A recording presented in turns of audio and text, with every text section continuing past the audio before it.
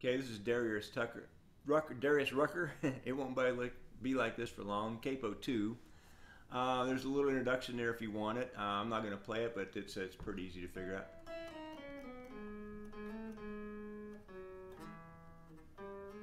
I guess I played it.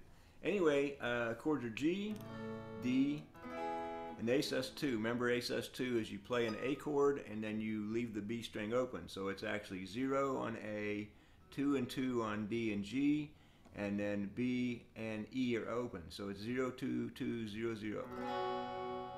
Okay? And then a B minor, we know that's a staircase. That's E2, uh, B3, D4, and an open D, open D chord. Okay, uh, F sharp minor, we know. And uh, I don't see anything else tricky in the song, so I think that's it. So let's go ahead and play it. Okay, here's Darius Rucker. It won't be like this for long.